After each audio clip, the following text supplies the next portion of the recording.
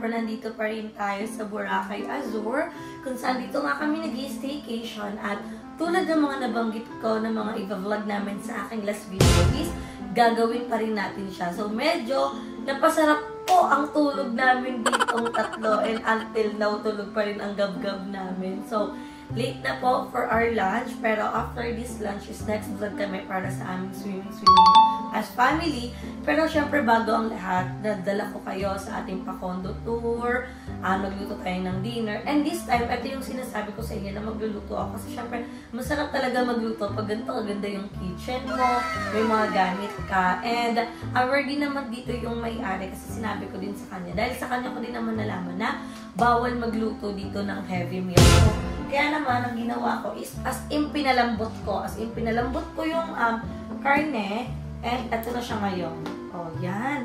So, kung naamoy nyo lang siya, sobrang bango niya. At wala sana akong planong hiwa-hiwain to. Pero, iniwa ko na siya. So, naka-marinate na siya. At ang gagawin natin ngayon is, ipiprito lang natin siya ng very light.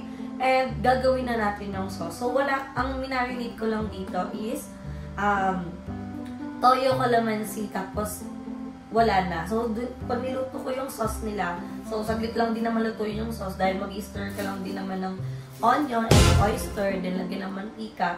Tapos na, ba diba? And kung maalala nyo, kagabi may natira kaming kanin. So, yung sinasabi ko para sa aming breakfast na mamaya naman is isasangag ni Daddy Paul. So, first step natin, kaya may bawang dito, pero pag nagpo-pork steak ako, wala talagang bawang, guys. So, unahin natin ang paghihiwa ng onion. So, ang gagawin ko, Maghiwa ko ng onion para sa pagigisa at yung isa naman is pang toppings sa takas para maganda. At kung maaalala nyo, nagtatanong ako doon kung magkano yung white onion. So, medyo pricey siya. So, carry na din itong red onion kasi mas malasa naman to. At hindi naman natin to kailangan iwain ng bonggang-bongga. Sana hindi ako maiyak. Pabilog, iwa. Oo nga, pabilog. Sana hindi ako maiyak.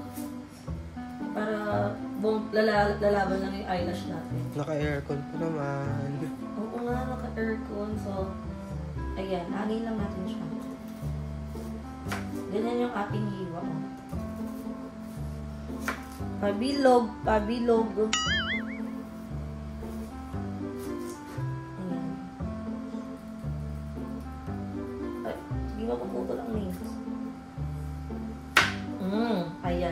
So, anin lang natin siya ng... Mm. Pwede pala to, hindi natatanggal-tanggal. Daanin natin yan. Tatanggal-tanggalin natin yung bilog. Ayan. So, para pasabog yung ating mga sibuyas.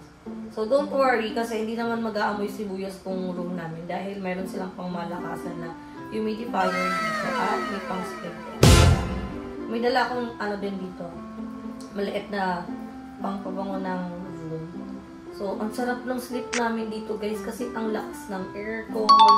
Hindi ako mag-worry na malaki yung bill ko kasi syempre 24 hours bukas yung aircon namin. ba? Diba? So, dito ang sarap talaga kung alam nyo lang yung feeling na matulog na sobrang lamig after ng mga work kahapon. Diba? Staycation kami. Tapos, work pa din naman. So, nagagawa naman namin, nagagampanan ko naman ang aking pagiging work in Emberlar. So, tuloy-tuloy lang talaga ang ating pag-work dito. At least, nai-enjoy namin. Lalo na mamaya, may enjoy ni kapag nag-swimming na siya. Pag nakita na na. So, kulang pa yan. Kulang pa yung ating sibuyas. Dapat, mas masarap pag maraming sibuyas. Kasi, nakakadagdag siya ng lasa. So, mamaya, si Daddy Paul na pala mag-iwa ng ano? Ng bawang.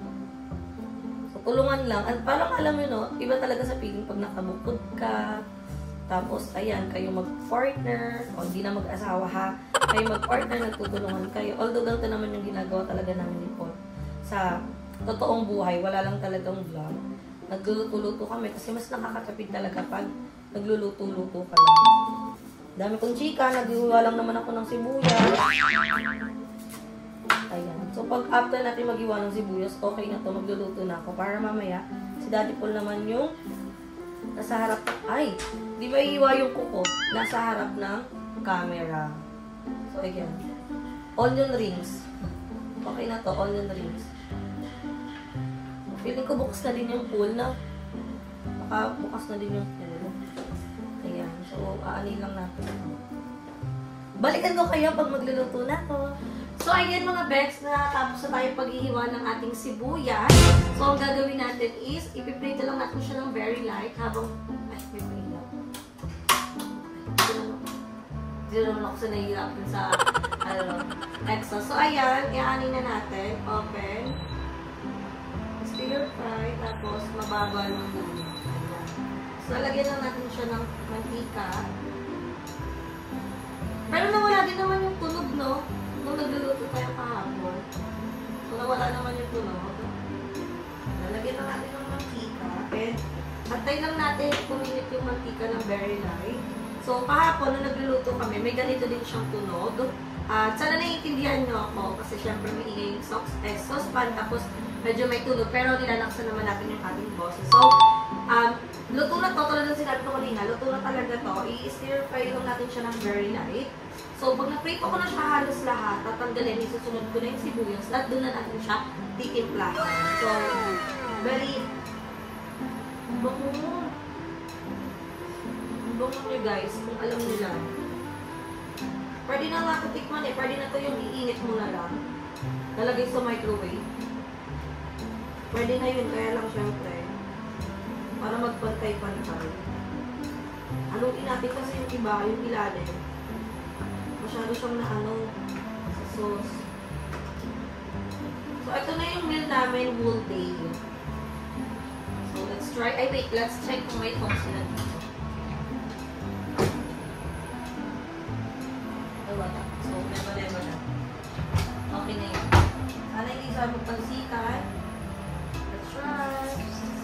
Hindi. Perfect.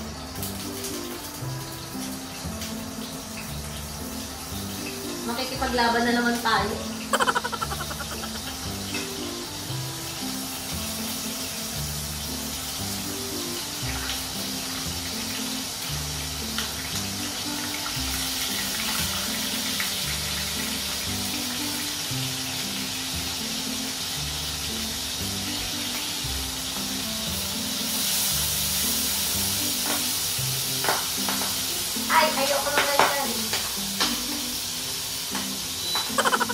Na siya.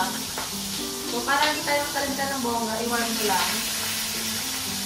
At sasamahan ko kayo kung gaano kabilis lang itong pagluluto natin.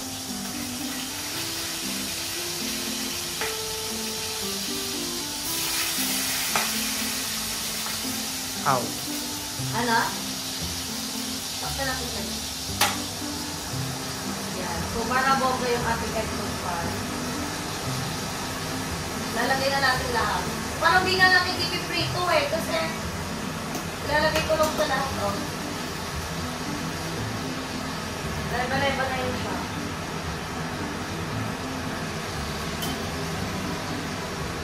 Ayan. Balikan mo siya sa fry. Ayan. So, iinit lang natin siya. Actually, pwede ko naman siya ilagay lahat. So, may minadali pagluluto. Pwede ko naman siya ilagay lahat para maluto natin.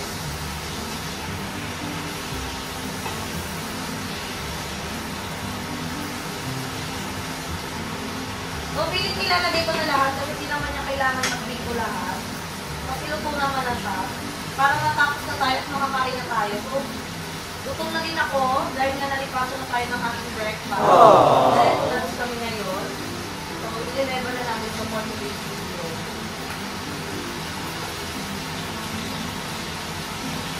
Ano ang dami pala nito?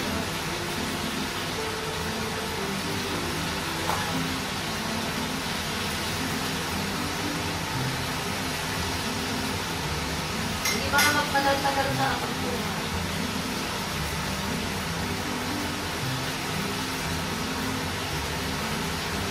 Ayan. So, itong sauce na to ay meron pa. Itong sauce na to is gagamitin pa natin siya kasi ito itong sasabaw natin. Habang i-stir-stir lang natin ito. Ayan. So, luto naman na siya. So, wait lang tayo ng mga 3 minutes and after that is maglalagay na tayo ng sauce. So, i-open ko na So, ayan, dahil na nalabat ng ating cellphone, hindi ko na makita sa inyo ang paglagay ng ating tubig, pati ng ating ang tawag ito, sibuyas. So, natapos na tayo agad-agad at isaset ko lang siya ng steam, ay hindi, ng soup for only 2 minutes and after 2 minutes, tapos na tayo magluto. So, after natin magluto, is dadako naman tayo kay Daddy Paul para sa kanyang pagpa-fried rice sa ating natirang kanin. So, antay lang tayo ng 2 minutes and tapos na tayo magluluto. So, ayan mga Bex, may pagkakamali kaming nakita kasi kanina inantay namin matapos ng 2 minutes. So, hindi pala siya 2 minutes, be. 2 hours pala siya, kaya pala hindi namamatay yung induction cooker. So, buti na lang nakita namin agad. And, we're done na sa pagluluto. Ayan, tapos na yung pagluluto. At hindi ko lang tinatanggal pa yung saksakan, pero ayun, napatay na yan. Hindi pa namin tinatanggal kasi mag pa-fried rice pa si Daddy po.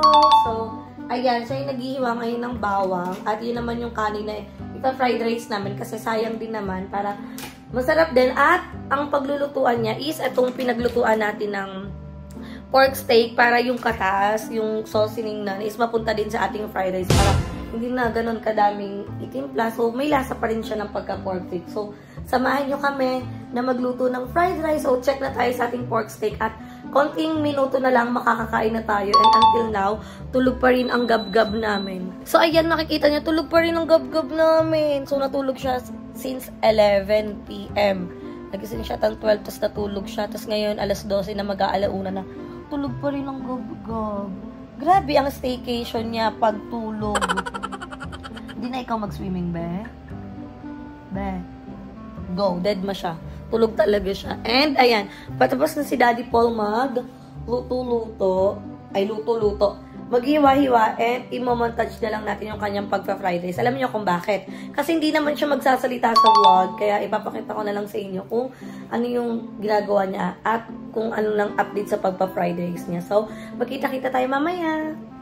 So, ayan mga Bex, tapos na din si Daddy Paul maghiwa at medyo syempre hindi ganun kalinis yung ating area ngayon kasi syempre nagluluto pa kami. Pero don't worry, lilinisin namin yan. At pinagpalit namin yung lalagyan kasi sabi ko ito na lang lalagyan namin ng pork stick dahil nga itong pinaglutuan na to is gagamitin niya para sa ating pagsasangag. So, ilalagay na natin dito yung ating ulam. Para dito pa siya dito pa rin siya magluto.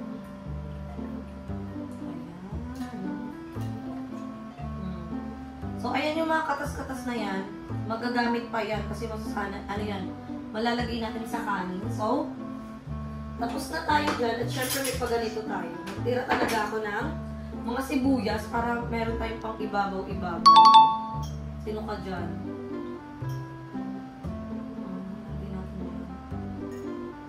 Para kunwari ano tayo. Kunwari masarap yung luto natin. Tatanungin natin siya mamaya kung anong lasa ng ating niluto. So, ito ang pork steak. Ay, sibuyas na may pork. mm, ayan na. So, naka-garnish na. May pag-garnish tayo. So, ayan, luto na ang ating sibuyas na may pork steak. ayan, luto na yung ating pork steak. So, it's time naman para videohan si Daddy Paul ng kanyang pagluluto ng sinangag na kanin. And gigisingin na natin si Gab after this. And syempre, papaliguan natin yung ating anak. Ipapakita ko din yan sa inyo. So, tara! Magluto tayo ng sinangag, sinangag, sinangag. Magluto tayo ng fried rice!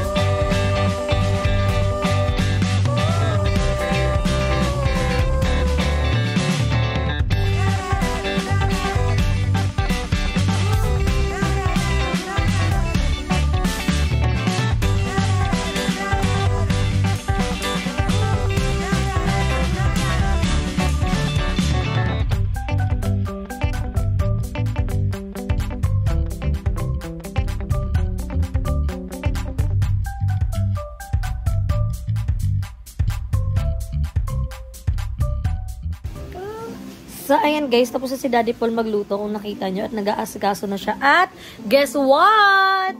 Hi! Hi! Ano yun? Ano? Truck.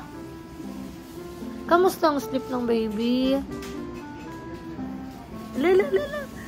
La la la la la la. Hi! Daddy? Oo, nag-prepare si Daddy ng pagkain. O, yan na siya.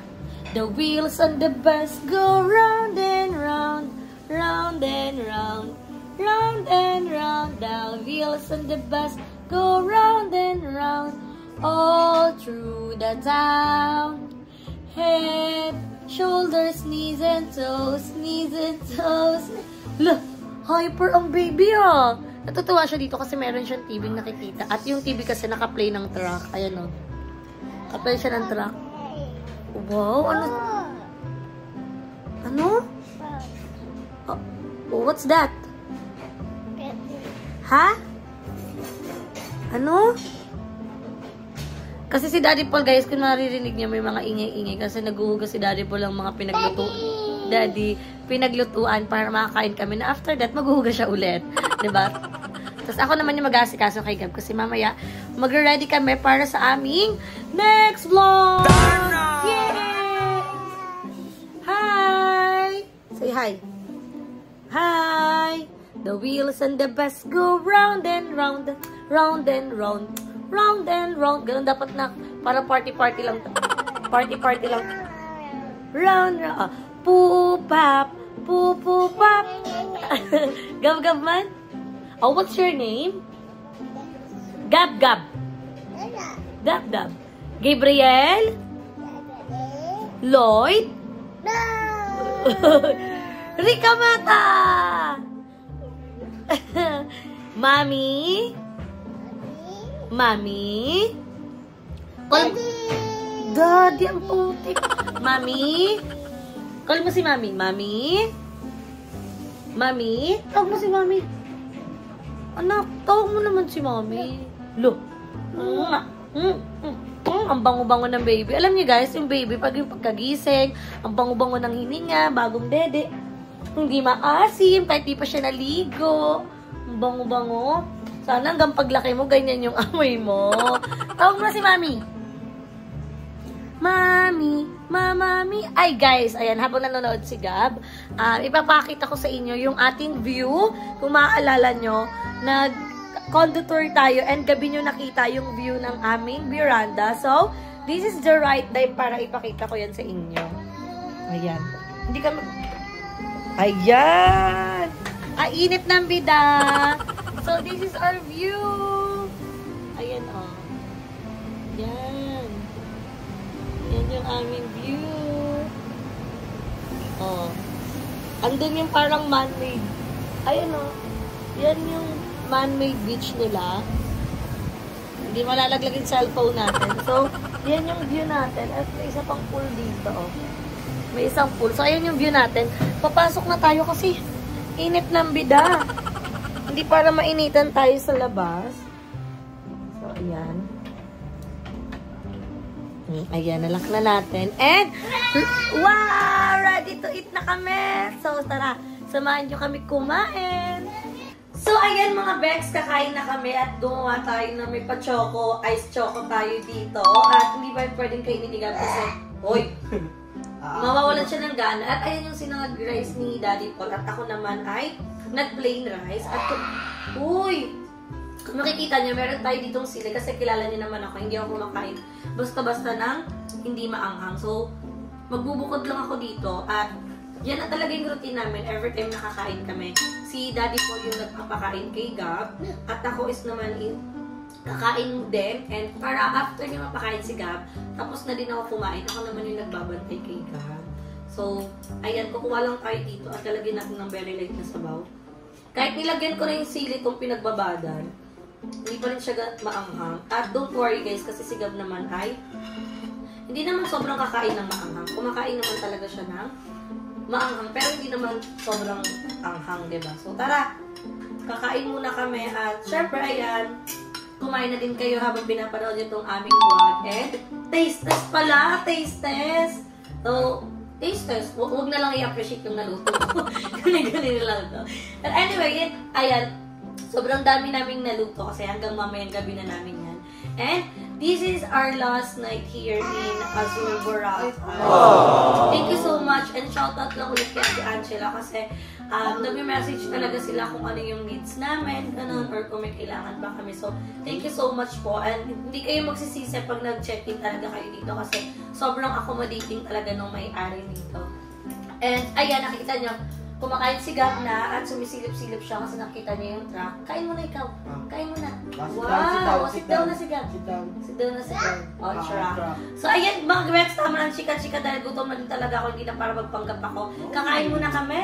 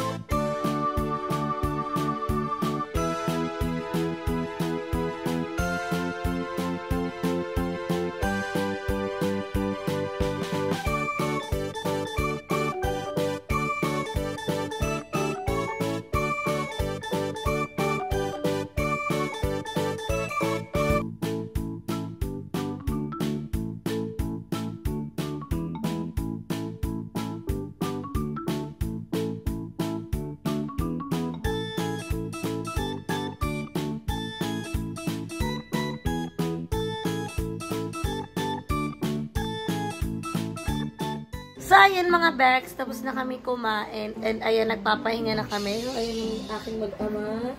Naglalaro sila. Gab, Gab, hi! Harap yun.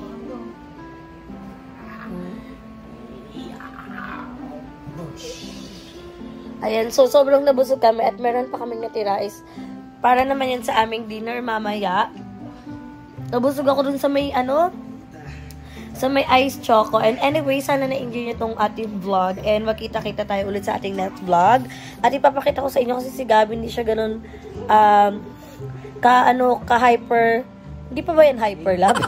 Super hyper na kasi sa amin yung tulog eh. Pero nagpapahinga lang kami ng very light kasi abangan nyo naman yung aming next vlog. Kasi ang next vlog namin is magsiswimming si Gab! Yay! Gab, swimming ikaw? Ayaw mo ko pansinin ha, huwag ka mag-swimming ha. Swimming swimming? Saan swimming? Nana? Swimming ikaw, swimming? Swimming daw, yun, yun. Paano yung swimming? Hi, hi, come Paano yung swimming? Wow! Ano? Da! Ito! Ito! Ito! Oh, ito! Oh. Sino yung pinapanood mo? Sino yan? Sino? Ay, Ha? Lugi sa'yo? Blippi! Sino yan? Sino yan ba? Sino daw? Blippi! Blippi! Yan? Blippi. Blippi. Gab, what's the sound of monkey? Ha? Lo, dead mo, dead mo na siya. Parang amang lumalakad. Tuma- Hi ka sa kanila. Hi! Lo, iniiwasan niya talaga ako. Ano? Bye! Bye-bye. Babay ka na, babay. Babay ka na sa kanila. Bye-bye. Bye. Thank you for watching. Ay. Bye-bye. Oh, swimming na siya, swimming. Tititignan niya dun sa may bintana. Anyway, again guys, dito ko lang tatapos yung ating vlog. So, thank you so much, Ate Anshela, again and again. And, kung gusto niyo na mag-staycation dito sa Azure Urban Resort, um, ito yung kanilang Facebook page. Pwede kayong mag-message dyan kasi meron silang tatlong units dito with one bedroom. Kaya naman, thank you for watching this vlog at dito ko natatapos yung ating vlog. Kaya naman, don't forget to like, share, and subscribe to my YouTube channel para mag-grow to 400,000 subscribers na tayo agad-agad, di ba? Kahit celebrate pa lang natin ng 350. Anyway, Huwag niyo na rin kalimutan mag-subscribe sa YouTube channel ng BNT Production. Siyempre sa individual channel na Bakla ng Taon. Sabay-sabay niyo po kaming supportahan sa aming mga kanya-kanyang YouTube channel. So, see you in my next video guys. Bye! Ang harap mo!